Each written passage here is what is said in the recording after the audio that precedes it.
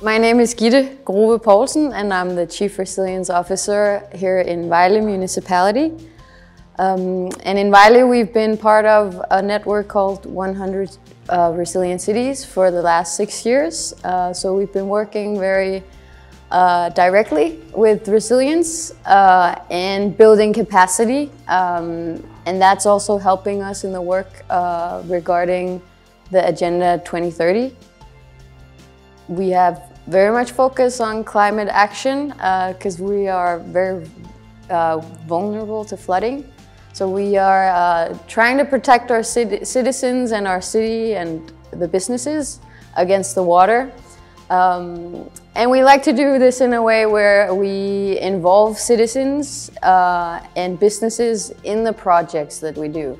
Uh, so we don't want to, as a municipality, tell people what to do, uh, we like to set a direction and then uh, listen to what people have to say. Uh, and uh, regarding the SDGs, the, the um, goal number 16 is very important for us. We want to be a strong institution that empowers citizens, residents, instead of uh, just going out and telling people what to do. We believe that gives us better solutions uh, that will last us longer into the future.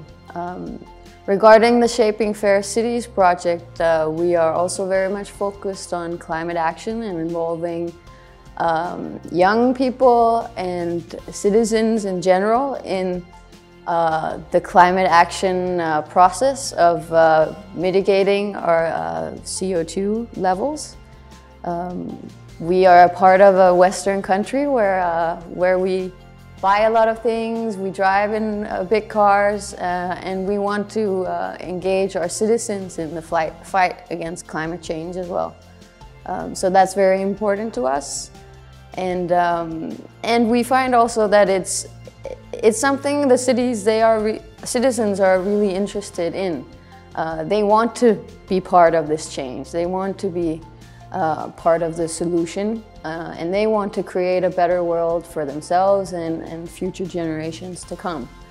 Um, so, so I don't really feel like it's hard to engage people, but finding the right way to engage citizens um, is important. Uh, we have to be, as a, city, a city council and, and municipal administration, we have to be able to listen and, uh, and collaborate, co-create with, uh, with our citizens.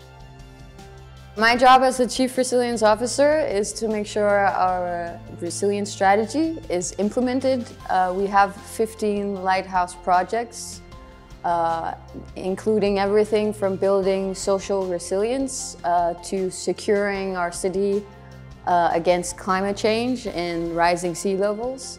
Um, and uh, these projects we are, uh, we are implementing with partners across the municipality, with businesses, with other departments in our own administration, with citizens and civil society. And that is really important for us to mobilize as many people and as many partners as possible so that we get the biggest representation as possible, but also get the solutions, the better solutions. Um, because the more people we are, the more knowledge we have and the more power we have.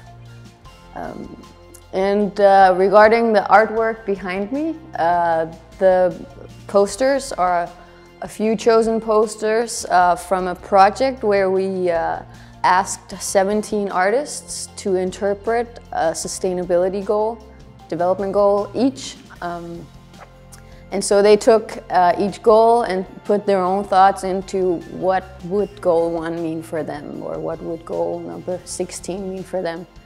And so the mayor chose uh, a few of them to have here hanging in his meeting room um, as an inspiration whenever he has meetings. Uh, people look at the posters and think, what does uh, poverty mean or how, how could we uh, how can we interpret goal number 11 of sustain building sustainable cities? Um, the posters were auctioned uh, on a big festival we held uh, last year called Vejle Democracy Festival, which is a two-day festival where we engage the whole city uh, and actors across um, civil society, businesses, within our own organization. We come together and discuss some of the issues that are important for the city and the municipality and uh, bridge the understanding uh, between us uh, so we have uh, a platform to find the solutions.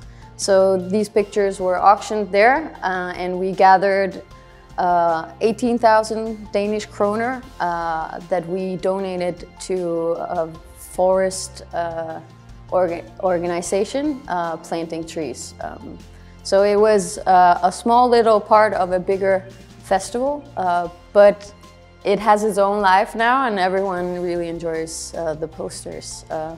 and they are an important part of our work. They inspire us every day and we like them very much. So in the future, we will definitely uh, aim at engaging many more businesses in our work towards resilience. Uh, we want to include and involve uh, businesses in building the resilient Vejle of tomorrow. Um, and we will do this by focusing on leadership within the businesses, but also how they can contribute to the challenges that we are facing in the city. We also have another project uh, coming along where um, we will, or we have to revitalize our strategy. So in 2020, we will pick some new lighthouse projects so we can uh, have something to work, uh, work towards in the future. Uh, some, we have implemented a lot of our resilience strategy already, and now we have to look for new goals uh, to achieve. And Shaping Fair Cities will be a part of this, uh, especially with the, with the SDG number 11 and, and 13. Uh, we will engage a lot more people in the uh, fight against climate change uh, in the coming years.